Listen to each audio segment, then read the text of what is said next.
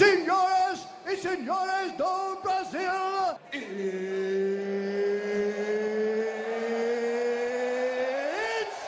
time!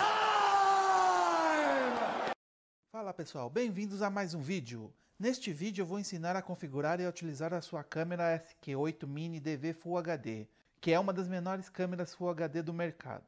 Também irei responder as dúvidas que vocês deixaram nos comentários nos outros dois vídeos no canal. Se você ainda não viu esses dois vídeos, recomendo assistir antes de assistir esse. Vou deixar o link na descrição. Bom, vamos lá, logo depois da vinheta.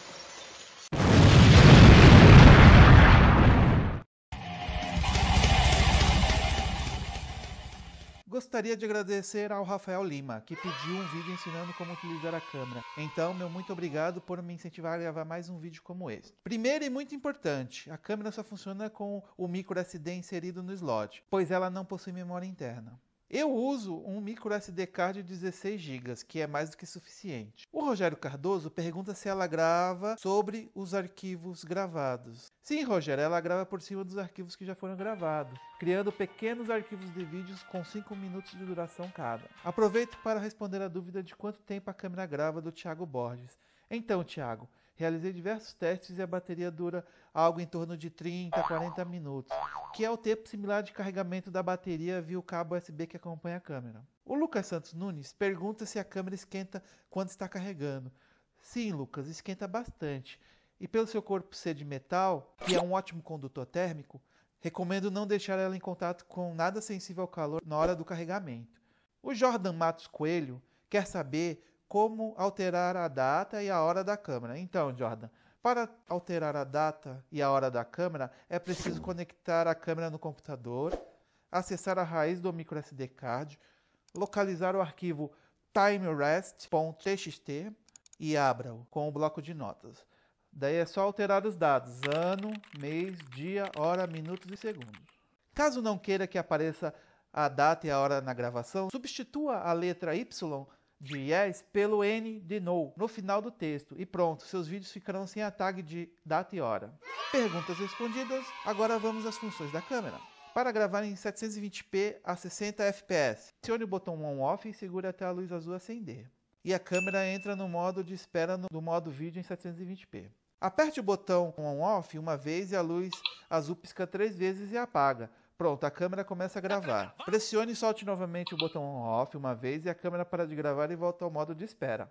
Para gravar em 1800p a 30 fps, no modo espera, com a luz azul acesa, pressione e solte uma vez o botão mod e a luz azul ficará lilás. Aperte e solte o botão on-off uma vez e a luz lilás piscará três vezes e apaga.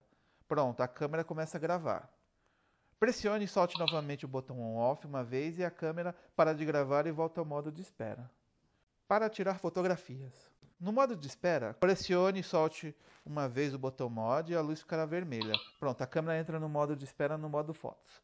Aperte e solte o botão on-off uma vez e a luz vermelha piscará uma vez e a câmera capturará uma imagem. Para sair do modo foto, pressione e solte uma vez o botão mode e a luz volta a ser azul no modo de espera. Agora vamos aprender a configurar os modos de capturas mais complicados. Gravar no modo noturno. No modo de espera, com a luz azul acesa, pressione o botão ON-OFF por 2 segundos e a luz azul piscará duas vezes. Para começar a gravar, pressione o botão ON-OFF uma vez e a câmera começa a gravar no modo noturno e os LEDs infravermelhos frontais se acendem.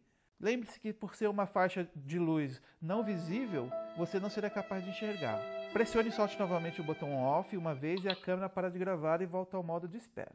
Para gravar com detecção de movimento. No modo de espera, com a luz azul acesa, pressione e segure o botão Mode por 3 segundos. E a luz lilás irá piscar 3 vezes e desligará. Ao desligar a luz, a câmera entra no modo de captura de movimento ela vai detectar movimento e gravará por cerca de 3 minutos até parar novamente, esperando o próximo movimento.